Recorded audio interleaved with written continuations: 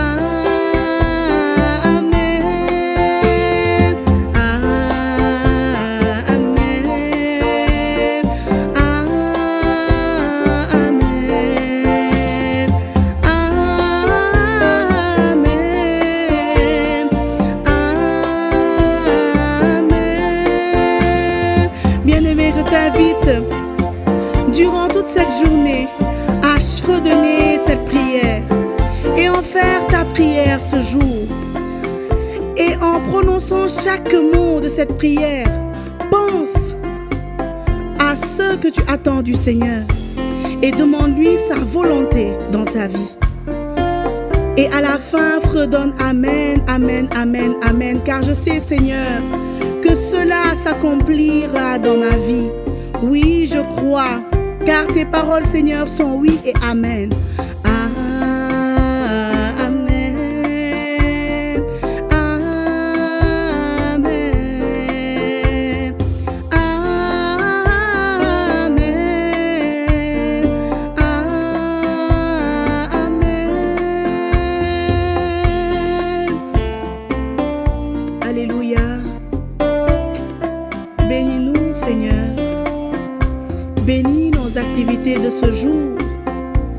Donne-nous le pain quotidien.